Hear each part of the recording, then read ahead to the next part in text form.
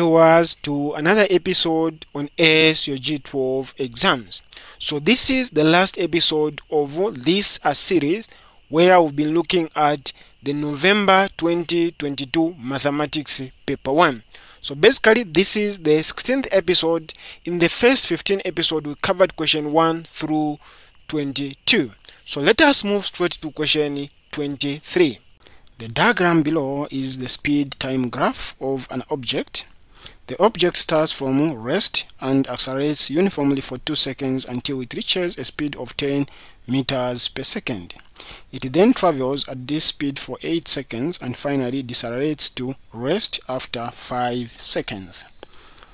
Find the question A retardation of the object in the last 5 seconds.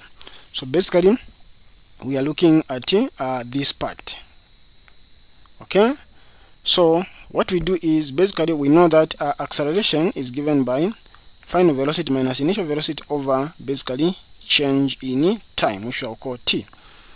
Okay so we know that uh, the final velocity is basically 0 minus initial velocity at the, this point is started retardation which is 10 which is 10 meters per second divided by time it took. So it's basically 15 uh, minus 10 we end up with basically minus uh, 10 over 5 then this gives us minus 2 meters per second square as in our acceleration. Now because we are already told to find the retardation so this is basically means 2 meters per second square. So once you put 2 meters negative 2 meters per second it implies that it is deceleration or retardation. If you put 2 meters per second positive it means it's acceleration. So remember to take care of that uh, common mistake. Then uh, basically b distance traveled in the first 10 seconds so basically to find the distance traveled in the first 10 seconds, we need to find the, uh, the area under this, the first part, which is which I'll call M, then the area under B. That will give us in the total distance traveled. So distance traveled in this case, which is the sub distance, I'll use a small d, will equal to basically area under A plus area under B.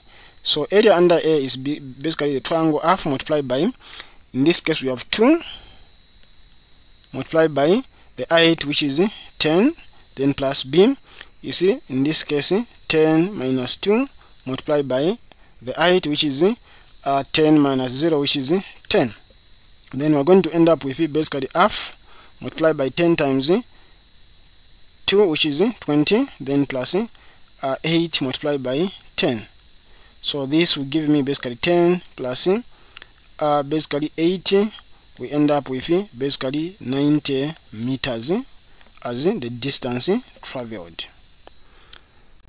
Then we go to see average speed of the object for the whole journey. So if we are to find the average speed, we also need to know the distance traveled under this C so that we know the total distance. Remember, average speed is given by total distance over time. Then the total distance is equal to area under A plus area under B plus area under C. This area under A and B, we know what it is, is equal to 90, then plus C. So we can find C by doing the same thing that we did with area A, which is basically this, multiplied by that, then times F. So C, area under C is F, multiplied by basically uh, 15 minus 10, then multiplied by uh, 10, which is uh, 10 minus 0, which is the height then we're going to end up with basically half multiplied by 5 multiplied by 10 to be 5 times 10 is 50 divided by 2 multiplied by half it will be 25 meters. So to find the total distance I can use this space.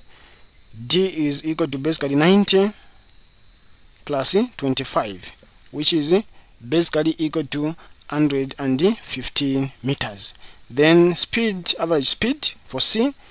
C in this case is equal to now. Let me just maybe clean up here so that I use this. So it will be equal to now 115 meters divided by uh, the total time which is taken here which is in this case 15 so we divide now what we do is we can divide by 5 so 5 into 15 is basically 3 5 into 11 is basically 2 remainder 1 5 into 15 is basically uh, 3 so we're, we're going to have 23 over 3 then we can do further division. What we're going to end up with is basically uh, 3 into 20 3 is 7 remainder 2 so we are going to have that meters per second as the average speed which is basically 7 2 over 3 meters per second as in the average speed. So basically this is how you answer this question to get um, the 60 marks. This question is one of the simplest questions that normally comes in an exam and this is usually the last question. So thank you for joining me in this episode where I focused on mathematics paper 1 from the 2021 internal exams which are the November exams. So please if you find this video uh, helpful please consider liking it sharing it and if you have not subscribed to our channel please consider subscribing by subscribing you help us to improve our visibility and reach as many as possible so please don't forget to join me in the next episode where I'll start looking at paper 2. Thank you viewers for watching uh, this uh, episode. If you find this uh, video to be very helpful, please consider liking, sharing, and if you are new to this channel, subscribe to our channel. Once you go to our channel, we discover that we've got uh, so much content for you. You'll notice that we've got uh, mathematics, uh, physics, and chemistry. We've also got a section that is uh, arranged by topics. You could be uh, finding challenges with a specific topic. This is the best section for you.